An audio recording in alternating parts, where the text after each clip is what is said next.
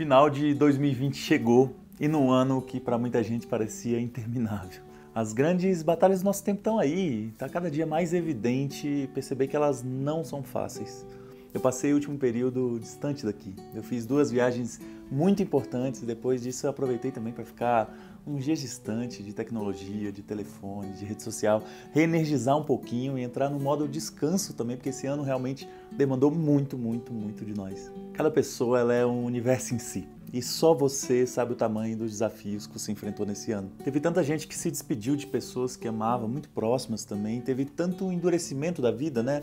Tantas crises numa sociedade que tem um sistema tão destrutivo, tão cruel, tão perigoso que mesmo nos momentos que a gente mais precisava de cuidado, de união, de carinho, de solidariedade, ele mostrou sua face ainda mais dura, intensificando seus problemas estruturais mesmo, né? E tornando esse mesmo mundo um lugar ainda mais repleto de exploração, de opressões, de destruição da natureza. É tanta coisa errada, tanta injustiça. E a gente aqui. E isso faz a gente se sentir bem pequenininho, só que não deveria ser assim. Não deveria ser tão difícil tocar nossa vida, não deveria ser tão difícil correr atrás da nossa felicidade, se realizar no nosso papel nesse mundo. Só que as condições são essas que a história do mundo hoje reservou para nossa geração.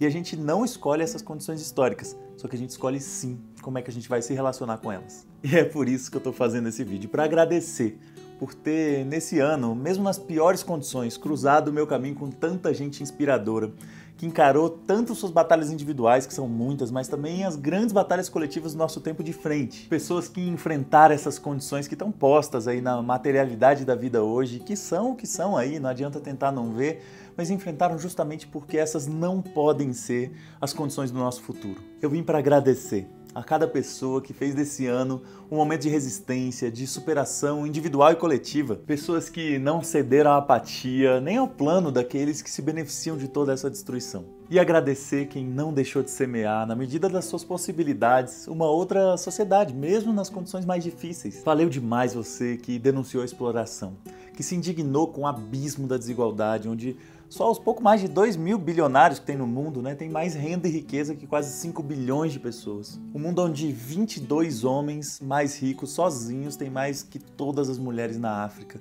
E no Brasil, só 5 famílias sozinhas têm mais renda e riqueza que a metade do nosso povo. Essa realidade é um escândalo, mas mesmo assim tem muita gente que tem receio de se posicionar, mas não você e por isso eu te agradeço muito. E valeu também todas aquelas pessoas que se indignaram e se posicionaram contra todas as opressões. Todo mundo, e aliás o Natal é um bom momento para falar disso, né, que não aceita que existam pessoas que tenham menos reconhecimento, menos direitos, menos valor ali pela cor da sua pele, pelo seu gênero, pela forma como é e como se expressa na sua sexualidade, pelo país ou pela região de onde vem, pela sua condição física ou neurológica, pelo bairro ou local onde vive, ou pela forma como expressa sua crença e sua fé. Valeu todo mundo que sabe que isso não deveria importar nada, mas que estruturalmente na sociedade atual importa.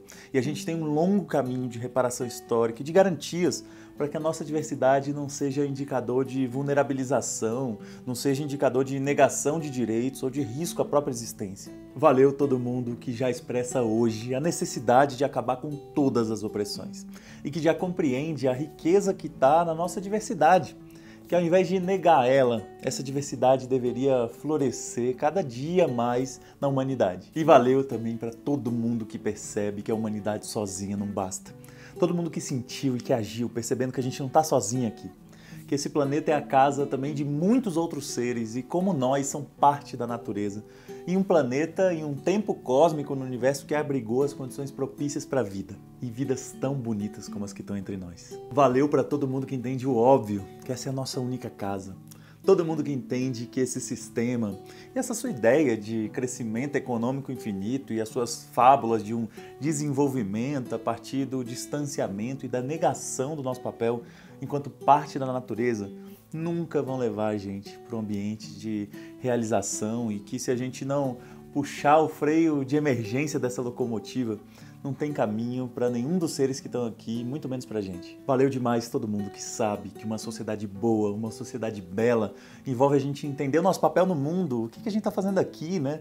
Envolve entender também o nosso papel na nossa comunidade, finalmente integrar a nossa comunidade com todo o restante da natureza. Valeu todo mundo que seguiu semeando ao longo de 2020 nas cidades, no campo, nas florestas, uma sociedade do bem viver. Todo mundo que deu o seu melhor em cada batalha, defendendo direitos sociais, resistindo ao autoritarismo. Todo mundo que se doou para que a gente perdesse menos pessoas nessa pandemia mundial, seja pelo vírus, seja pela fome ou qualquer outra razão. Valeu todo mundo que entendeu que o amanhã diferente desse que a gente sonha demanda que hoje a gente ocupe o presente que a gente faça o nosso trabalho de formiguinha, que a gente seja como aquelas pessoas que a gente admira na história, que fizeram grandes coisas e que quando chega a nossa hora também de deixar essa terra, a gente possa dizer que a gente cumpriu o nosso grande propósito de estar aqui, que a gente cumpriu a nossa grande missão histórica. O próximo ano e todos os que tem daqui para frente trazem desafios ainda maiores, responsabilidades ainda maiores. E não adianta a gente tentar se iludir, não tem mais período tranquilo daqui para frente na soma de todas as crises a paz, a harmonia, a felicidade, a realização que a gente sonha, agora está lá na frente.